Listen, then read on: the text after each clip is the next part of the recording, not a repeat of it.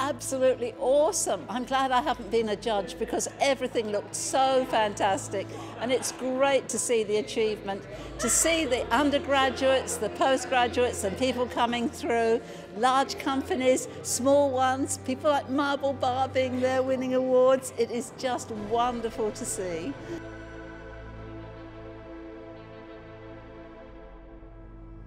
Oh, it's a huge honour, you can imagine. But I'm thrilled to do it because without this industry, where would we be? We are at the heart of everything that happens in Western Australia.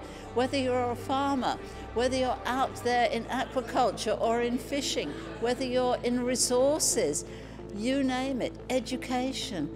We're surrounded by absolutely wonderful hospitals here and they work because they have great IT systems to back them up you name it, IT is right there for the future. And of course, with tourism coming back, we're going to need IT more than ever. So, yeah, I'm a huge fan, a great supporter, and WAITTA is a hugely part of our community, and long may it thrive.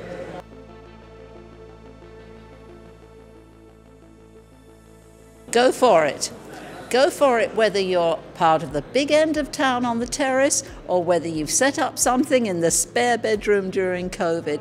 You are in there with a real chance. If you've come up with something special, you've been innovative, you're making a difference, you can win. And if you do, not only is it a great boost for us to see you winning, but it puts you at a great position nationally and internationally because these awards can take you around the world. Hugely respected, very well known, and just imagine that. It is a new level of achievement for your company or you as an individual. So don't miss out.